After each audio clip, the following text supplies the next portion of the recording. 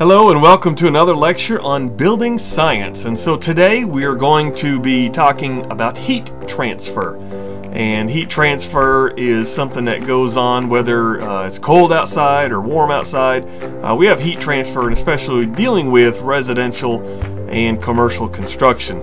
So a very general uh, description or definition of heat transfer is it describes the exchange of thermal energy uh, between physical systems depending on temperature and pressure by dissipating heat. So that seems like a, a, fancy definition. So we go from hot air to cold, and that is our heat transfer from one object to another. So with our houses, uh, especially in, let's say, the wintertime, we have heat transfer that goes, you know, our, the heat inside of our house is trying to get to the colder air. Okay, those molecules are trying to pass through our wall cavity uh, and to get through the outside. And so, uh, with houses, uh, with just basic heat transfer in general, we have three avenues of uh, transfer there. And so, those three avenues are conduction, convection, and radiation. And so, we want to talk about all three of these, and uh, I'm going to flash a few pictures up on the screen just so you can get a visual of, uh, of this type of heat transfer and how that occurs and how that goes on. So the first one is conduction, uh, and you can see by uh, the picture there with conduction, it's basically like if you put a rod in a fireplace or if you put a, you know, grab onto a hot pan on a stove, you have conduction that travels uh, up through that surface, up through that, uh, that particular object. So the real definition of conduction is the transfer of heat from one substance to another by direct contact. And so this is that rod in the fireplace or grabbing the, the hot grabbing the hot pan on the stove uh, that I was talking about. And with this picture, you can see how heat just kind of transfers up through that particular material. And so our next one is convection.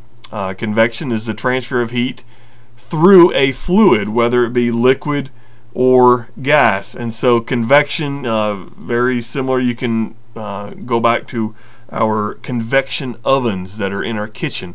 Uh, convection ovens work on the uh, the heat and the circulation of heat through air, and so that is what our conduct or our convection ovens are from, and that's sort of convec convection.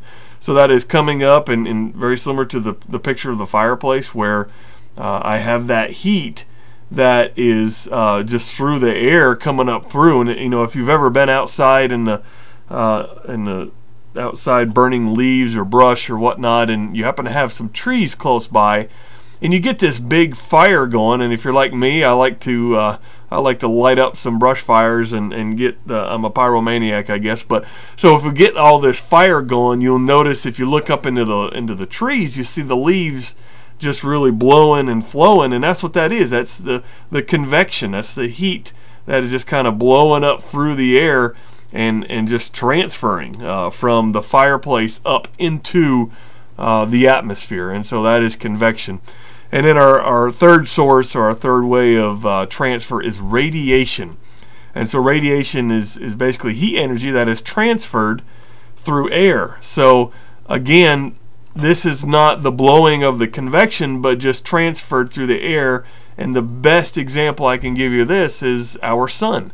Uh, and so our sun gives off that radiation and it radiates the heat through the air uh, onto our skin. Now, what I'd like to do is to, to talk about this with, um, hopefully I'm going to throw a picture up on screen on this as well, but when we're dealing with the actual uh, heat transfer through our house. Okay, so we take the heat from the sun and it is transferred to our roof deck through radiation. Okay, so heat comes through the atmosphere and hits our shingles in the form of radiation. Well, now the heat is transferred through our shingles and our subdecking on the roof uh, through the means of conduction, okay? And so that is coming through our roof, through conduction, through the material, and then getting into our attic space, okay? Well, now we switch from conduction back to radiation, okay? So radiation now comes through uh, the atmosphere in our attic and lands on our equipment, it lands on our ductwork, um, in the form of radiation.